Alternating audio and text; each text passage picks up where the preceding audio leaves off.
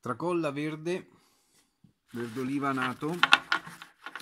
con robusta imbottitura centrale, rinforzo in quanto la tracolla è passante, imbottita, fortemente imbottita, molto morbida, molto comoda,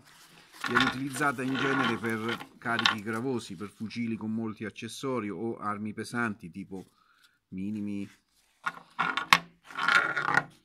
e similari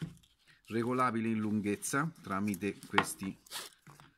piccoli moschettoncini materiale plastico due robusti ganci metallici alle sue estremità in nero opaco antiriflesso